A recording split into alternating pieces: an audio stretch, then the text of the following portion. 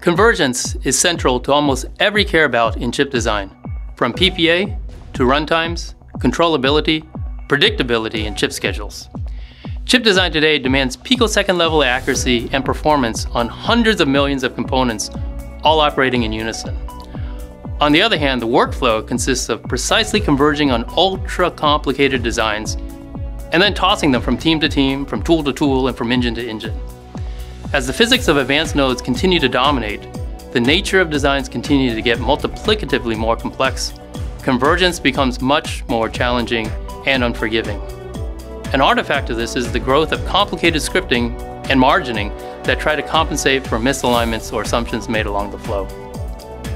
A basic example is what's happening with FinFET or gate-all-around transistor technologies, which provide the flexibility for the same design to operate at ultra-high speeds at high voltages or extremely low power at low voltages.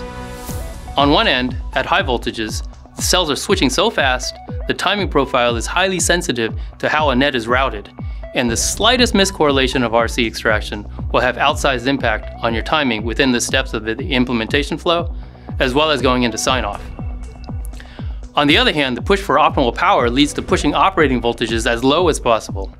Here, there are profound changes where circuits become highly sensitive to variation, and their timing becomes particularly difficult to predict accurately. Strong Miller effects in the waveform can significantly impact the design's timing picture. Traditionally, the highest levels of accuracy are captured during sign-off. Designers are increasingly facing many late respins to converge on timing profiles that were never seen earlier in the flow, as they scramble to fix the design with patches.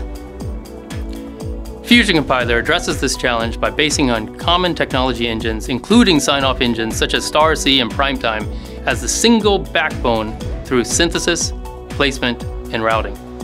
Implementation tool decisions are driven and validated in real time by sign-off extraction and timing engines. In addition to analysis, the implementation engines are also common throughout, with the use of the same optimization, placement, legalization, and routing engines from RTL through sign-off.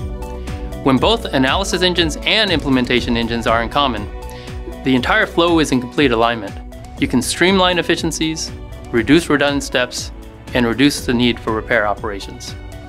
Fusion Compiler ensures optimal convergence throughout the implementation flow, achieving the best sign-off accurate PPA on cutting-edge designs while accelerating your design schedule.